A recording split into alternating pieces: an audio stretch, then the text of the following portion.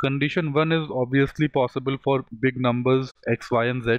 Positive integers let's say x is equal to 100 y is equal to 50 z is equal to 20 of course x cube y cube z cube would be in the same order. So one is definitely possible. Come to statement 2 this is possible when the values of x y and z are small fractions between 0 and 1 for example x is equal to 0.9 y is equal to say 0.89 and z is equal to 0.88 so cx is greater than y is greater than z, but when you square up y, 0.89 square would be something like 0.8 and 0.9 cube would be something like 0.72, 0.73.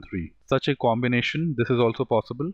However, this would not be possible. This is a possibility where such a possibility existed. Negative numbers, there is no use because the signs of x, y, and z, the same signs would apply in x cube, y cube, z cube. So this case is not possible for any of this course in fractions if something like this happened then y cube and z cube would follow the same order.